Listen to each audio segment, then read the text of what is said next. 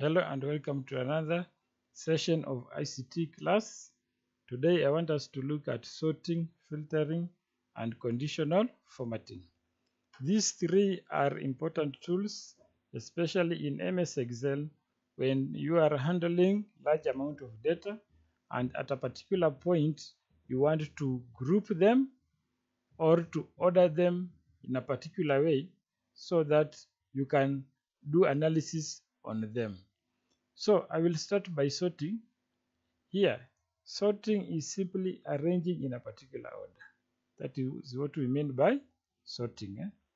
It is not rocket science. If I have a group of um, students and I want to arrange their names alphabetically, I will be sorting the students' names. And in sorting, you can deal with alphabetical Eh, data or numeric data. When you deal with alphabetical data, you can arrange them from A to Z or from Z to A. And when you are arranging data from A to Z, we say that you are applying what we call ascending sort. By ascending sort, we mean you are climbing, you are ascending from the lowest to, to the, the highest. And when you are arranging from Z to A, we say that you are applying a descending sort, meaning you are descending the ladder. You are moving from the largest to the smallest. Same applies to numeric data. You can arrange the data from the smallest value to the largest value and that is what we call ascending sort or you can arrange from the largest value to the smallest value and that is what we call descending sort. Now uh, by ascending and descending I simply mean these words. This is ascending sort then the other one is descending sort. So these are the methods which are used in the sort. And um, you should not forget uh, when we say ascending is you are climbing the ladder from lowest to highest. And when we say descending is from top to bottom. And that is how we apply this in MS Excel as I will show you later. Now uh, the next thing is what we call filtering.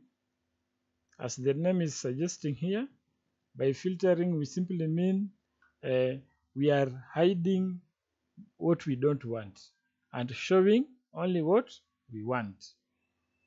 And that is very important because if I have a very large list of boys and girls, maybe 1000 students, 600 or even 500, and I only want girls, I will hide the boys and only what will be remaining on the Excel sheet will be girls. Or I want only the boys and I don't want to show the girls, then I will hide the girls and show only the boys. This process of hiding what you don't want and showing what you want is what we call filtering. All this I will show them practically in MS Excel. Then the last thing I want us also to discuss here is what we call conditional formatting. What is it? Conditional formatting means we are only formatting the cells in MS Excel to show what we want.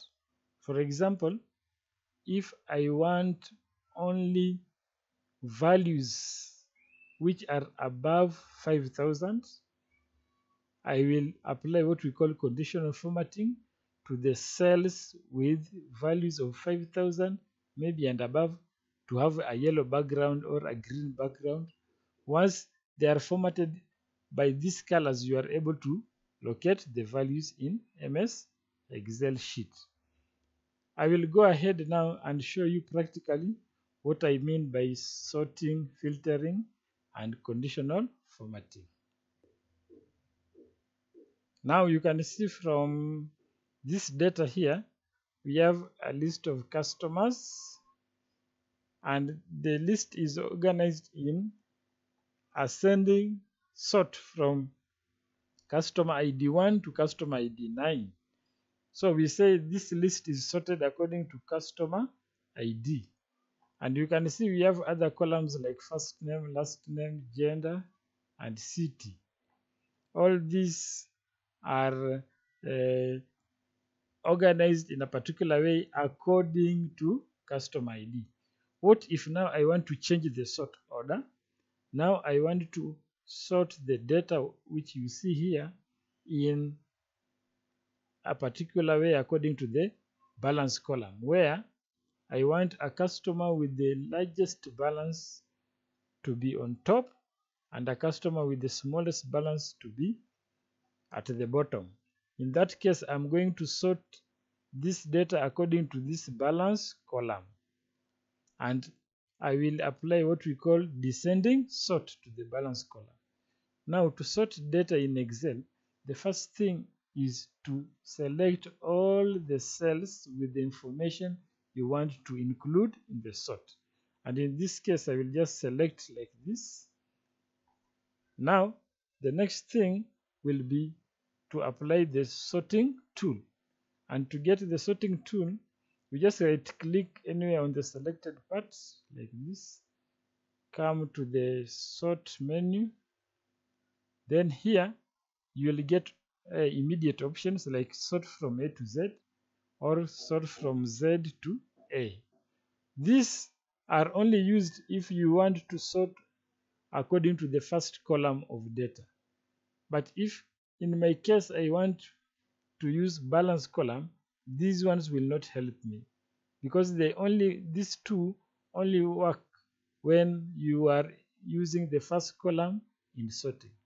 So in my case, since I want to use another column apart from the first column, I will go to custom sort and click here. Then this uh, sorting box appears. Here you, you choose what you want, which column you want to sort by. So here I want to use balance column and I want it to arrange from largest to smallest. Then I will click OK. Now you can see the first person with the largest balance is customer ID C004 and this order is descending from the largest to the smallest and that is what we call sorting. Now I will also want to sort um, according to uh, alphabetical order. I want to have maybe uh, last name here to be arranged alphabetically from A to Z. So in that case, I will just select all my data like this. Right click the selected area, come to sort and choose custom sort. And in this case, sort by which column? I will choose here last name and I want it from a to Z. So I will change here the order to from A to Z and click OK.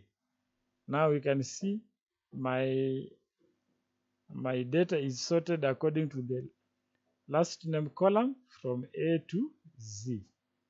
That is how sorting is done. The next thing is what we call filtering. And you remember very well we said when you are filtering, you are showing what you want and hiding what you don't want. So in this case here, let's say for example, I want to show only male customers. In that case, I will just uh, click any cell. Then you, you come to this icon, sort and filter icon here, and you just click this filter.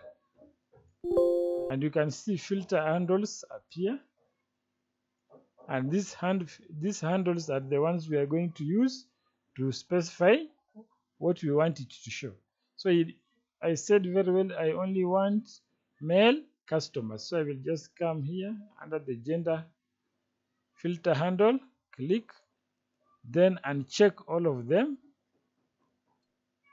When you uncheck all of them you simply click the checkbox for the select all. If you click you will select all. If you uncheck you will unselect all.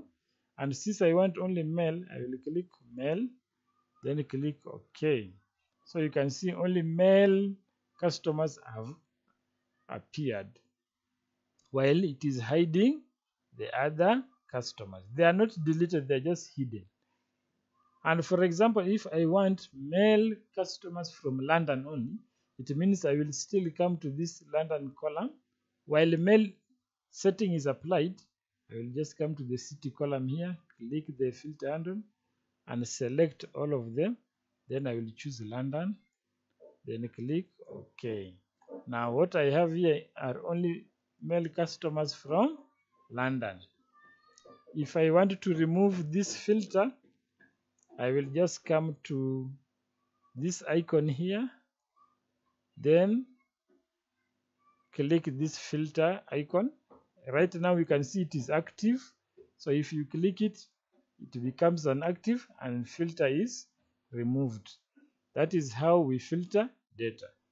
What if now i want to show only i want to show only uh, customers from birmingham while hiding all the other customers?